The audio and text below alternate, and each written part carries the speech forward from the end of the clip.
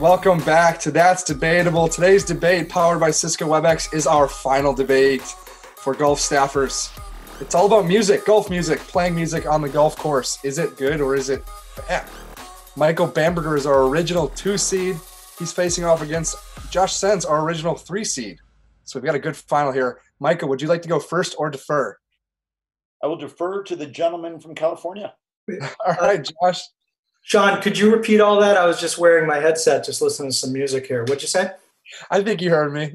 Oh, oh, music. Yeah, I mean, I, some people would argue that playing music on the course can be loud and disruptive and disrespectful to those around you. I won't dispute that, but that's not going to be the main point I'm going to make.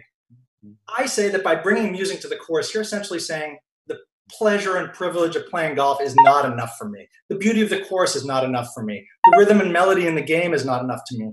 The the pleasure of my company is not enough for me. I need to ramp it up. Those of us who really know golf, who enjoy golf, know that golf is plenty fun on its own. We don't need to gussy it up. Furthermore, we spend our lives bombarded with by technology. The golf course is a respite from that. And we're going to bring in virtual music, technology to bump blast us even further. They don't go together. The Masters knows this well enough. They have the most famous soundtrack in golf. They don't play it while the guys are hitting. Let's face it, music in golf, golf already, if you have music in you, which a lot of golfers do, you don't need to bring it from the outside. Be like Fuzzy, whistle while you play.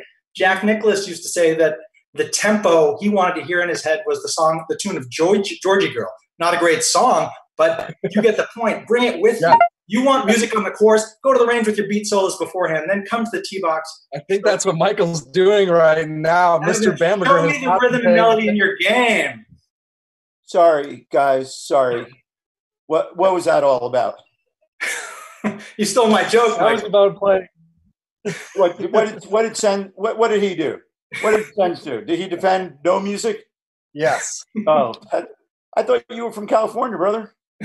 Let me tell you every single activity known to mankind is improved with music.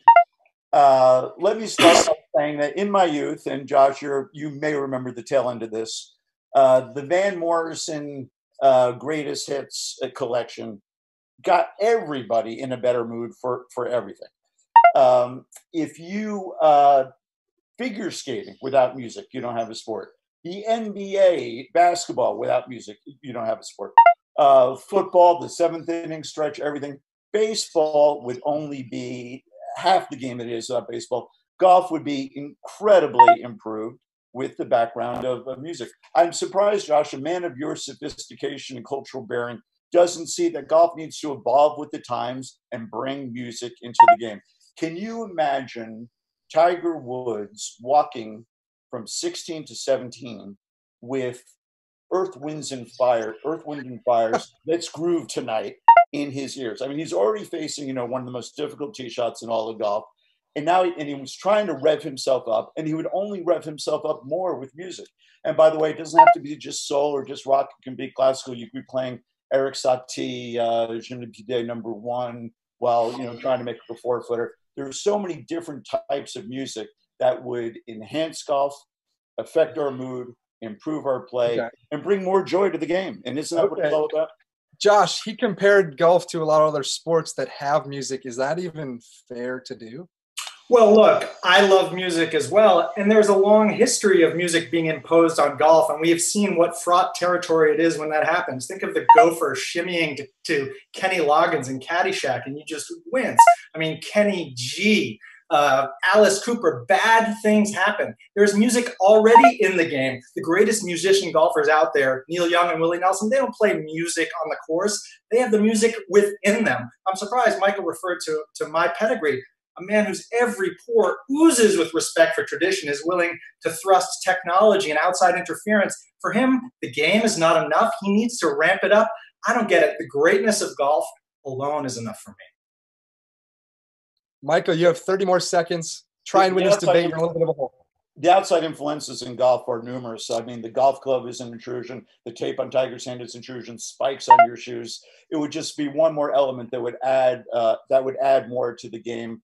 I think it would uh, in, enrich the game, improve the game, bring more joy to more people. And uh, I don't see why we have to be stuck by our past. I think it's time to evolve, and uh, I think it would be a lot of fun. Oh, Michael, you had me going when you're talking about Tiger walking from the 16th to the 17th tee. I really love that, but you didn't mention what could have been the greatest point getter is walk up music. Walk up music on the first tee. I think if you would have had that, you would have moved on in this debate. But for now, we're going to have Josh Sens move on in the final to take on Keith Mitchell, and that's debatable, powered by Cisco WebEx. Gentlemen, go listen to some music.